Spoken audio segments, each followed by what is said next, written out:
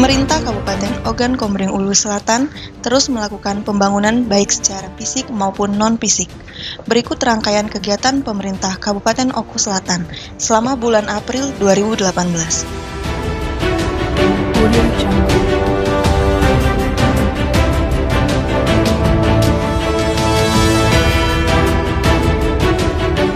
Guna menunjang tingkat pendidikan dan prestasi siswa didik, menyelenggarakan BIMTEK penulisan soal UASBN.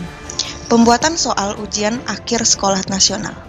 Tingkat sekolah dasar sekarang menjadi tanggung jawab pemerintah kabupaten. Bukan itu saja, pencetakan ijazah untuk tingkat sekolah dasar telah diserahkan kepada pemerintah kabupaten. Koni Ramli mengatakan, ujian akhir sekolah nasional tingkat SD tahun ini berbeda dari tahun sebelumnya. Untuk tahun ini, sebagai besar tanggung jawab sudah menjadi tanggung jawab kabupaten. Mulai dari menyusun kisi-kisi, perakitan soal, pencetakan, hingga pendistribusian. Kemudian pada tanggal 4 April, Bupati menghadiri rapat paripurna. Jawaban Bupati. Perda inisiatif DPR. Rapat paripurna ini dipimpin langsung Ketua DPRD, Yuhana Yudayanti, dan dihadiri oleh Bupati dan Wakil Bupati Oku Selatan.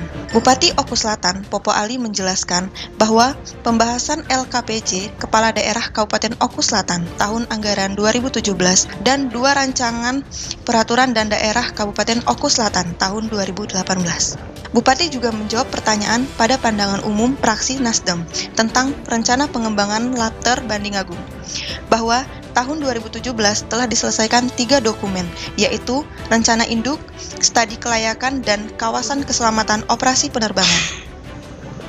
Di hari yang sama, Bupati Oku Selatan, Popo Ali memimpin rapat koordinasi dan supervisi bersama Komisi Pemberantasan Korupsi KPK di Gria Agung. Dalam rapat koordinasi ini, setiap kepala daerah dan ketua DPRD menandatangani komitmen bersama pemberantasan korupsi terintegrasi disaksikan Kapolda Sumsel. Keesokan harinya, 5 April, Bupati Ogan Komering Ulu Selatan, Popo Ali, membagikan 8.500 sertifikat untuk 5 kecamatan, yaitu Kecamatan Muara II, Buai Runjung, Runjung Agung, Buai Rawan, dan Banding Agung. Pembagian sertifikat dilakukan secara simbolis di Desa Peninjauan Kecamatan Buai Runjung. Sebelumnya telah diselesaikan 3.500 persil sertifikat pada tahap 1 yaitu untuk Kecamatan Sindang Danau. Masih di hari yang sama, 5 April, dalam rangka pemeriksaan atas laporan keuangan pemerintah Kabupaten Oku Selatan, Badan Pemeriksa Keuangan RI, Perwakilan Provinsi Sumatera Selatan menggelar entry briefing dengan pemerintah Kabupaten Oku Selatan di ruangan rapat terbatas. Pada kesempatan itu, sekretaris daerah menyampaikan bahwa pemeriksaan ini akan dilaksanakan selama 30 hari, mulai dari tanggal 4 April sampai dengan 3 Mei 2018.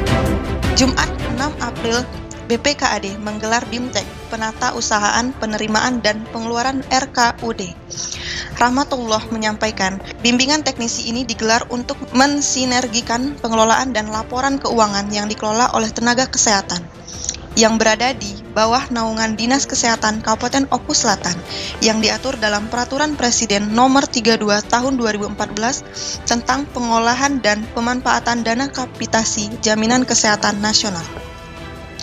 Pada fasilitas tingkat pertama milik daerah serta Surat Menteri Dalam Negeri Nomor 900 garis miring 2280 garis miring SJ perihal petunjuk teknisi penganggaran, pelaksanaan dan penatausahaan serta pertanggungjawaban dana kapitasi jaminan kesehatan nasional pada fasilitas kesehatan tingkat pertama milik pemerintahan daerah.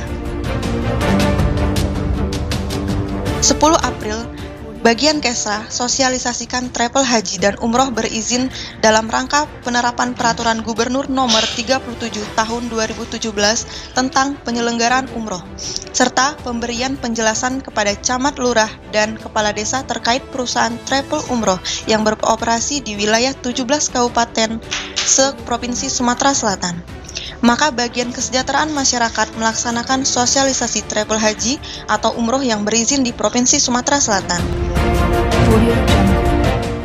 Guna meningkatkan kinerja OPD, Bupati melakukan monitoring evaluasi kerja OPD. Salah satu materi rapat yaitu terkait perjalanan dinas dan hal-hal yang dilakukan serta hambatannya. Kepala Bapeda Natalion menyampaikan laporan triwulan 1 yang dilaksanakan pada bulan Januari sampai bulan Maret 2018. 14 April, Bupati hadiri ujian nasional amatir radio Indonesia yang bertempat di Aula Pemkap Oku Selatan diselenggarakan pembinaan dan ujian negara amatir radio. Adapun tujuan dari kegiatan ini adalah agar calon peserta orari lebih mengetahui tentang teknisi radio dan prosedur operasi berkomunikasi.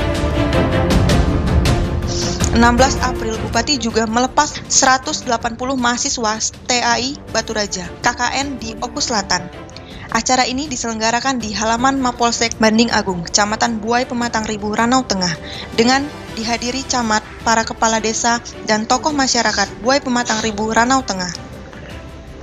Menurut Popo Ali, pada masa aktif kuliah berupaya transfer ilmu dari dosen pengajar program studi. Lalu mahasiswa menyerap ilmu dan memahaminya untuk kelak dapat mengamalkan di lingkungan mana pun di tengah kehidupan bermasyarakat. Guna menunjang program religius Senin 16 April, Bupati hadiri Isya Mi'raj di Kelurahan Pancur Punga, Bupati Oku Selatan Popo Ali, dalam sambutannya meminta masyarakat untuk mengaplikasikan pemerintah agama dalam kehidupan sehari-hari, serta menjaga kerukunan dengan umat agama lain. Menjelang pemilihan kepala daerah Provinsi Sumatera Selatan, KPU Oku Selatan melakukan koordinasi data Pemilu Pilkada Gubernur 2018. Dalam arahannya, Wakil Bupati Oku Selatan mengatakan, dalam menjelang pemilu Pilkada, pemerintah Oku Selatan mengharapkan seoptimal mungkin agar seluruh masyarakat yang mempunyai hak pilih dapat memilih pada waktu pemilu Pilkada yang telah ditetapkan dan melakukan persiapan database masyarakat. Pada 18 April, Oku Selatan mempersiapkan diri ikut lomba desa tingkat provinsi. Melalui Dinas Pemberdayaan Masyarakat dan Desa menggelar rapat koordinasi.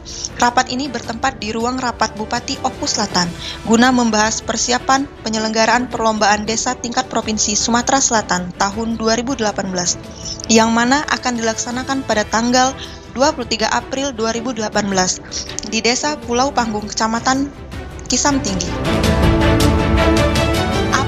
2018, Kabupaten Oku Selatan menjadi tuan rumah Lomba KB Kesehatan tingkat nasional.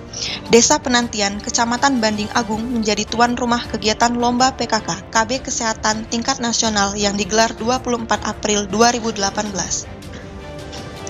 Dalam perlombaan ini, terdapat enam provinsi yang mengikuti lomba PKK KB Kesehatan. Salah satunya Kabupaten Oku Selatan yang mewakili Provinsi Sumatera Selatan keluarga sehat dan dalam rangka meningkatkan kemampuan dan kreativitas masyarakat PKK Oku Selatan menggelar Lomba Cipta Makanan Bergizi 30 April 2018. Kegiatan yang diselenggarakan di Gedung Kesenian dibuka oleh Wakil Bupati Oku Selatan, Solihin Abu Asir. Dalam sambutannya, Wakil Bupati Oku Selatan, Solihin Abu Asir menyampaikan bahwa pangan adalah suatu kebutuhan dasar bagi manusia yang harus dipenuhi oleh masyarakat dan pemerintah. Maka stabilitas pangan menjadi prioritas pembangunan nasional. Karena stabilitas pangan akan mempengaruhi pula stabilitas nasional.